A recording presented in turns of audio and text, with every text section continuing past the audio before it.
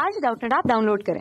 Doubtnut पर अपने सभी गणित, रसायन विज्ञान, भौतिक विज्ञान और जीव विज्ञान के डाउट्स का करो सफाया। बस प्रश्न की फ़ोटो खींचो, एक ही प्रश्न को क्रॉप करो और तुरंत वीडियो सोल्यूशन पाओ।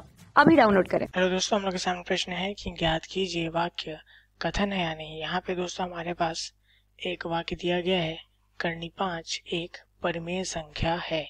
जो कि दोस्तों हम जानते हैं, यदि हमें किसी वाक्य के लिए बताना हो, कथन है अथवा नहीं तो हम क्या करेंगे? वाक्य के लिए यदि हम सत्य या फिर असत्य का निष्कर्ष निकाल पाएँगे, तब हम इस वाक्य को क्या कहेंगे? तब हम इस वाक्य को कथन कह पाएँगे। अब देखते हैं, यहाँ पे दिया है करनी पाँच एक परमेय संख्या है। अब दोस्तों जानते हैं हम कि कोई परमेय संख्या कैसी होती है? परमेय संख्या। दोस्तों हम p बटे क्यू को परमेय संख्या कहेंगे यदि p व q दोनों ही क्या हो? पूर्णांक।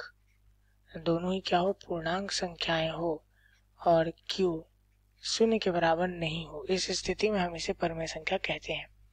यदि हम बात करें करनी पाँच का तो करनी पाँच बटे एक यदि हम लिखें तो यह जो अंश का भाग है, यह क्या है? पूर्णांक नहीं है।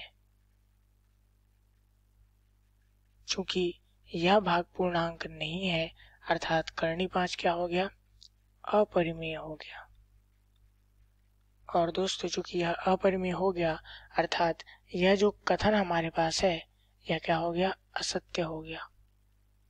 यह कथन असत्य है। तो यहाँ पे हमने निष्कर्ष निकाला कि यह कथन असत्य है तो इस स्थिति में वाक्य जो क्या है? असत्य है। चूँकि यह असत्य है, इसलिए हम कह सकते हैं कि यह एक कथन है। दोस्तों, यहाँ हम लिखेंगे, अतः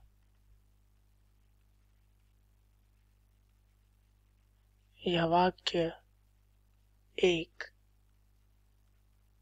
कथन है। उम्मीद है आप लोग को यह सवाल समझ में आया होगा। धन्यवाद। कक्षा छठी से बारहवीं से लेकर NEET I I T JEE वो एडवांस के लेवल तक। एक करोड़ से ज़्यादा छात्रों का भरोसा। आज ही डाउनलोड करें। डाउटनेट ऐप या व्हाट्सएप करें अपने सारे डाउट्स आठ चार सौ चार सौ चार सौ पर।